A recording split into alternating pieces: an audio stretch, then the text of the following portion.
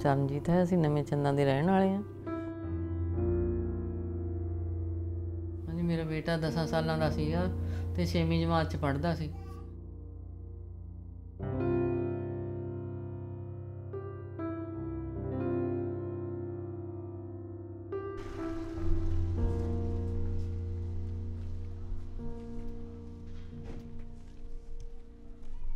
ਅਖੰਡ ਪਾਠ ਪ੍ਰਕਾਸ਼ ਹੋਇਆ ਸੀ ਸਕੂਲ 'ਚ।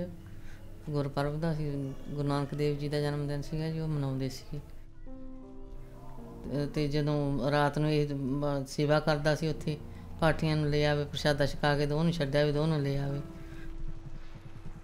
ਮੈਂ ਵੀ ਨਾ ਸੀ ਇੱਥੇ, ਮੇਰੇ ਫਾਦਰ ਦੀ ਡੈਥ ਹੋਈ ਵੀ ਸੀ, ਮੈਂ ਉੱਥੇ ਗਈ ਵੀ ਸੀ।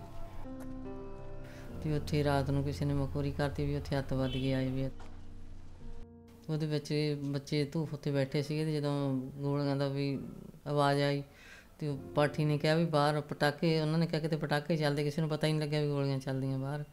ਉਹਨਾਂ ਨੇ, ਉਹਨੇ ਇਸ਼ਾਰਾ ਕਰਤਾ ਬੱਚਿਆਂ ਨੂੰ ਵੀ ਤੁਸੀਂ ਦੂਰ ਉਹਨਾਂ ਨੂੰ ਕਹੋ ਪਰੇ ਜਾ ਕੇ ਪਟਾਕੇ ਚਲਾਉਣ।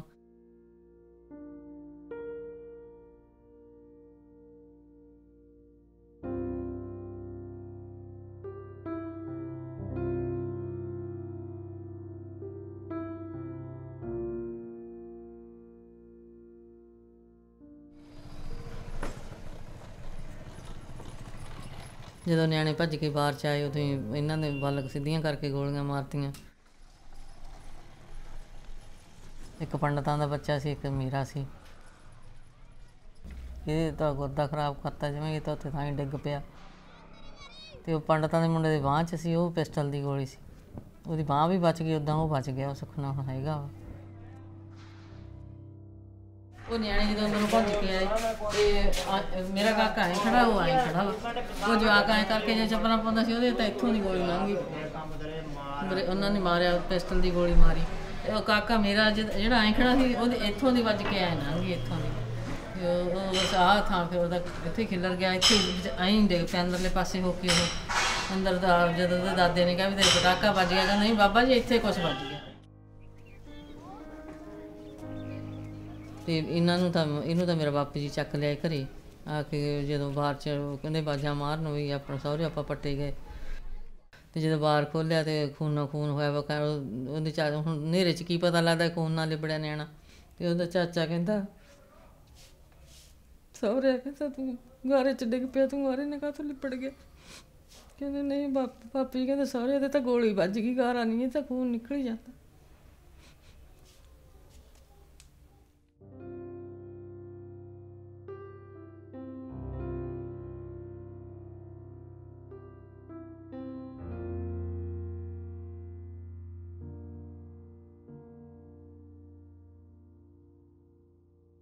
ਉਹ ਫੇਰ ਮੁੜ ਗਏ ਨਾ ਚੱਕਿਆ ਤੌਰ ਚੱਕਿਆ ਗਿਆ ਵੀ ਨਿਆਣੇ ਦੇ ਲੀੜੇ ਰਹਿ ਗਏ ਕਹਿੰਦੇ ਜਾ ਕੇ। ਜਦੋਂ ਜਾ ਕੇ ਉਹ ਕਹਿੰਦੇ ਸਾ ਤੂੰ ਬਾਬਾ ਬਾਬਾ ਜੀ, ਤੂੰ ਫੇਰ ਆ ਗਿਆ। ਵੀ ਤੂੰ ਤਾਂ ਜਵਾਕ ਨੂੰ ਲੈ ਕੇ ਉੱਠ ਗਿਆ ਸੀ ਵੀ ਇੱਥੇ ਤਾਂ ਅੱਤਵਾਦੀ ਹੈ, ਤੂੰ ਫੇਰ ਹੁਣ ਕੀ ਕਰਨਾ ਹੈ? ਕਹਿੰਦਾ, ਸਾਰੇ ਇੱਥੇ ਕੋਈ ਅੱਤਵਾਦੀਆਂ ਨਹੀਂ। ਇੱਥੇ ਤਾਂ ਬੱਚੇ ਆ ਛੋਟੇ ਛੋਟੇ ਪੜ੍ਹਨ ਵਾਲੇ ਬੱਚੇ ਆ, ਵੀ ਸਕੂਲ ਦਾ ਕੰਮ ਆ। ਵੀ ਇੱਥੇ ਕੋਈ ਉਪਰਾ ਬੰਦਾ ਨਹੀਂ ਆਇਆ। ਕਹਿੰਦੇ, ਬਾਬਾ, ਤੂੰ ਜ਼ਿੰਮੇਵਾਰ ਬਣਦਾ। ਕਹਿੰਦਾ, ਆਹੋ, ਭਾਈ, ਮੈਂ ਜ਼ਿੰਮੇਵਾਰੀ ਬਣ ਲੈਣਾ ਵਾ, ਵੀ ਕੋਈ ਨਹੀਂ। ਕਹਿੰਦਾ, ਚੰਗਾ ਬਾਬਾ, ਫਿਰ ਸਾਰਿਆਂ ਨੂੰ ਲਿਆ ਕੱਢ ਕੇ ਬਾਹਰ। ਚੱਲ ਹੱਥੇ, ਹੱਥ ਖੜੇ ਕਰਾ ਕਰਾ ਕੇ ਲਿਆ ਕੇ ਬਾਹਰ ਕੰਧਾਂ ਨਾਲ ਬੁਹਾਤੇ। ਫਿਰ ਵਾਪਸ ਵਿਚਾਰੇ ਉਹ ਬਿੰਦਕ ਤਾਂ ਦੇਖੇ ਬੈਠੇ ਰਹੇ। ਤੇ ਫਿਰ ਕਹਿੰਦੇ ਵੀ ਸਾਡੇ ਤਾਂ ਜਵਾਕ ਘਰੇ ਤਾਂ ਆ ਕੰਮ ਹੋ ਗਿਆ ਵੀ ਮੈਂ ਤਾਂ ਘਰ ਨੂੰ ਜਾਣਾ। ਉੱਥੇ ਇਹਦੀਆਂ ਚੱਪਲਾਂ ਸੀ, ਇੱਕ ਰਹਿ ਗਈਆਂ, ਇੱਕ ਉੱਤੇ ਟੋਟਾ ਜਿਹਾ ਲਿਆ ਸੀ, ਉਹ ਰਹਿ ਗਿਆ। ਉਹ ਚੱਕ ਲਿਆਏ ਉੱਥੋਂ।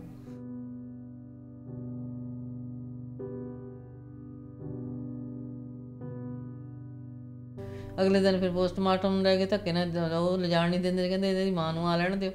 ਤੇ ਉਹਨਾਂ ਨੇ ਡਿੱਕਣ ਨਹੀਂ ਦਿੱਤਾ, ਕਹਿੰਦੇ ਫੇਰ ਮੁੜ ਕੇ ਤੁਹਾਨੂੰ ਦਿੱਤਾ, ਦੇਣਾ ਨਹੀਂ ਛੇਤੀ। ਉਹ ਮੇਰੇ ਆਉਂਦੀ ਤਾਂ ਚੱਕ ਕੇ ਲੈ ਗਏ ਸੀ।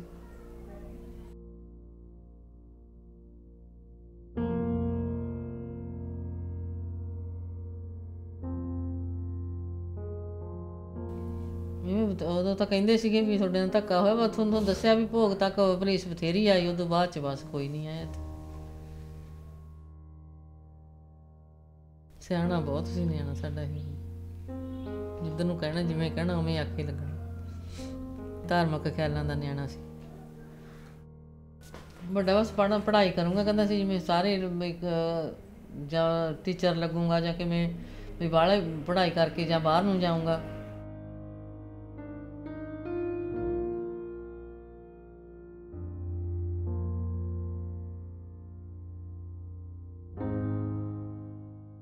ਇਹਨਾਂ ਤਾਂ ਮਹੀਨੇ ਬਾਅਦ ਦੱਸਿਆ, ਇਹਨਾਂ ਨੂੰ ਤਾਂ ਦੱਸਿਆ ਹੀ ਨਹੀਂ ਕਿਸੇ ਨੇ।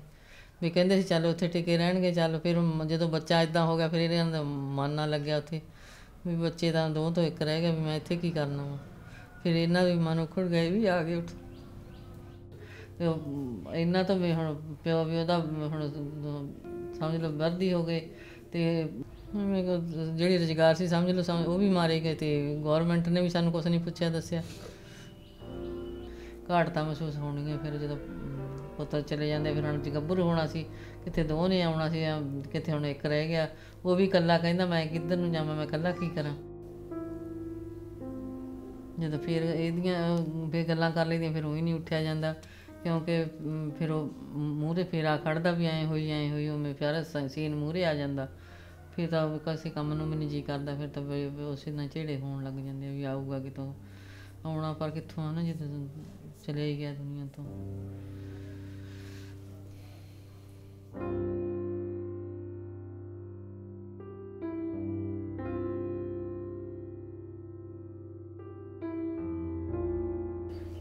ਤੇ ਬਾਕੀ ਉਹ ਦੂਜੇ ਨਿਆਣਿਆਂ ਨੇ ਸਕੂਲ ਨਾ ਜਾਣਾ, ਡਰਦਿਆਂ ਨੇ ਮੇਰੇ ਦਿਓਰਦਿਆਂ ਨੇ।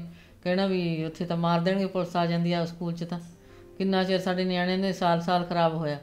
ਉਦੋਂ ਕਿਉਂ ਡਰਦੇ ਜਾਣ ਨਾ ਸਕੂਲ ਜੇ ਬਾਹਰ ਨਿਕਲਣ ਜੇ ਪੁਲਿਸ ਦੇਖਣ ਭੱਜ ਕੇ ਫਿਰ ਅੰਦਰ ਵੜ ਜਾਣ, ਕਹਿਣਗੇ ਪੁਲਿਸ ਆ ਗਈ, ਬਸ ਮਾਰ ਦੂ ਹੁਣ ਸਾਨੂੰ। ਵੀ ਕਿ ਜਵਾਕ ਹੈਮੇ ਰਹੇ ਸਾਡੇ ਕਿੰਨਾ ਚਿਰ। ਤੇ ਉਹ ਫਿਰ ਪੜ੍ਹਾਈ 'ਚ ਵੀ ਉਹੋ ਜਿਹੇ ਮਨ ਲੱਗੇ ਫਿਰ ਨਿਆਣਿਆਂ ਦੇ।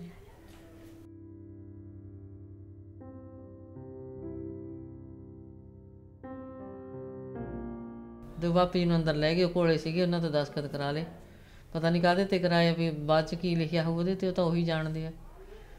ਤੇ ਉਹ ਬਾਪੂ ਜੀ ਹਰ ਫੜੇ ਹੋਏ ਸੀਗੇ, ਇਹਨਾਂ ਨੂੰ ਪਤਾ ਨਹੀਂ ਸੀਗਾ ਵੀ ਕਰਨਾ ਕਿ ਨਹੀਂ ਕਰਨੇ, ਕਿਉਂ ਜਦੋਂ ਹੁਣ ਡੈਥ ਹੋਈ ਹੋਵੇ ਘਰੇ ਭੁਰਕ ਨਿਆਣੇ ਦੀ, ਫਿਰ ਸਿਆਣੇ ਬੰਦੇ ਤੋਂ ਕਿੱਥੇ ਚੱਲੀ ਜਾਂਦੀ ਆ। ਉਹਨਾਂ ਨੇ ਉਹ ਮੇ ਰੋਂਦਿਆਂ ਕਲਾਂ ਦੇ ਨੇ ਦਸਖਤ ਕਰਤੇ ਉੱਥੇ।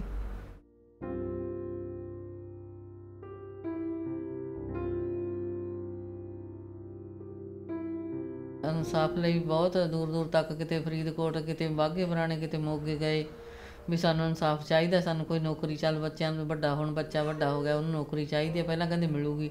ਕਿਤੇ ਕੋਈ ਪੇਪਰ ਤਿਆਰ ਕਰਾ ਲਿਆ, ਕਿਤੇ ਕੋਈ ਤਿਆਰ ਕਰਾ ਲਿਆ।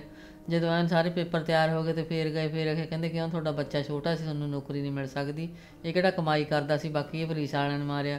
ਜੇ ਅੱਤਵਾਦੀ ਮਾਰਦੇ ਫਿਰ ਤਾਂ ਤੁਹਾਨੂੰ ਕੁਝ ਮਿਲ ਜਾਂਦਾ। ਤੇ ਜਦੋਂ ਜਿਹੜੀ ਗਵਰਨਮੈਂਟ ਨੇ ਮਾਰਤੇ, ਉਹ ਫਿਰ ਕਾਹਤੋਂ ਨਹੀਂ ਸਹੂਲਤ ਦਿੰਦੀ? ਉਹਨਾਂ ਨੂੰ ਤਾਂ ਚਾਹੀਦੀ ਸੀ ਸਾਨੂੰ ਦੇਣਾ ਕੁਝ ਤੇ ਉਹਨਾਂ ਨੇ ਵੀ ਸਾਨੂੰ ਫਿਰ ਉਹ ਜਵਾਬ ਦੇਤਾ, ਫਿਰ ਹਾਰ ਕੇ ਹੁਣ ਕੀ ਕਰਦੇ? ਅਸੀਂ ਪੁਲਿਸ ਵਾਲਿਆਂ ਦੇ ਖਿਲਾਫ ਕਾਰਵਾਈ ਇਸ ਕਰਕੇ ਨਹੀਂ ਕੀਤੀ ਵੀ ਅਸੀਂ ਗਵਰਨਮੈਂਟ ਨਾਲ ਕਿੱਥੋਂ ਮਿਕਲਾਂਗੇ ਵੀ ਹੈ ਨਾ ਉਹ ਤਾਂ ਗਵਰਨਮੈਂਟ ਆ, ਉਹ ਕੁਝ ਵੀ ਕਰ ਸਕਦੇ ਆ। ਜੇ ਉਹ ਕਿਹੜਾ ਹੁਣ ਸਾਡਾ ਵੀ ਸੱਚ ਮੰਨਣਗੇ, ਆਪਾਂ ਕੁਝ ਕਵਾਂਗੇ, ਉਹ ਕੁਝ ਕਰਨਗੇ। ਉਹਨਾਂ ਨੇ ਕਿਹੜਾ ਪੁੱਛਣਾ ਵੀ ਕੀ ਲਿਖਦੇ ਆ, ਕੀ ਨਹੀਂ ਲਿਖਦੇ। ਅਸੀਂ ਤਾਂ ਨਹੀਂ ਕੀਤੀ ਵੀ ਗਵਰਨਮੈਂਟ ਨੇ ਸਾਡੀ ਕੀ ਸੁਣਨੀ, ਜਿਹੜੀ ਆਪ ਹੀ ਗਵਰਨਮੈਂਟ ਆ। ਤਾਂ ਨਹੀਂ ਸੀ ਕੋਈ ਕਾਰਵਾਈ ਕੀਤੀ। ਬਾਕੀ ਅਸੀਂ ਕਰਨ ਜੋਗੇ ਨਹੀਂ, ਸਾਡੇ ਬਾਪੂ ਜੀ ਵਿਰਧ ਸੀਗੇ, ਆਪ ਇੱਥੇ ਹੈ ਨਹੀਂ ਸੀਗੇ। ਤੇ ਵੀ ਕਰਨਾ ਵੀ ਅਸੀਂ ਵੀ ਕੀ ਕਰਨਾ ਸੀ ਰੱਬ ਨੇ ਜਿਹੜੀ ਕਰਤੀ ਵੀ ਅਸੀਂ ਕਿਹਾ ਠੀਕ ਆ ਵੀ ਰੱਬ ਹੀ ਲੜੂਗਾ ਜਦੋਂ ਤੁਸੀਂ ਹੁਣ ਸਾਡੇ ਨਾਲ ਧੱਕਾ ਕਰਤਾ।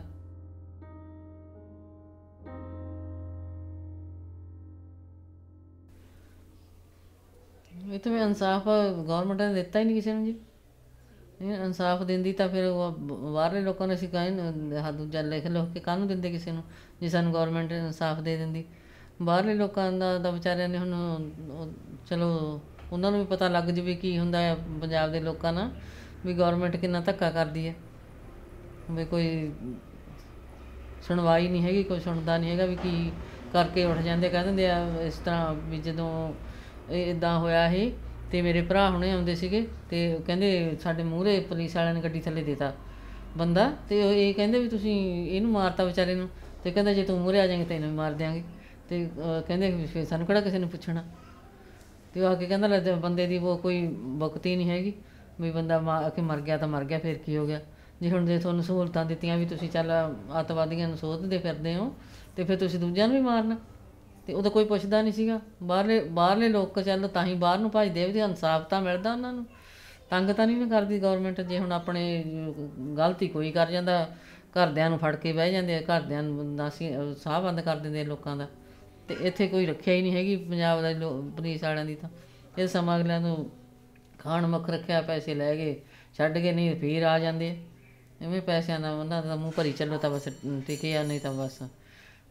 ਤੰਗ ਕਰੀ ਜਾਂਦੇ ਮਗਰਲਿਆਂ ਨੂੰ। ਅਗਲਾ ਉਹ ਭੱਜ ਜਾਂਦਾ, ਗਲਤੀ ਕਰਨ ਵਾਲਾ ਭੱਜ ਜਾਂਦਾ ਮਗਰਲਿਆਂ ਨੂੰ। ਸੂਲੀ ਚਾੜ ਦਿੰਦੇ ਆ ਫਿਰ।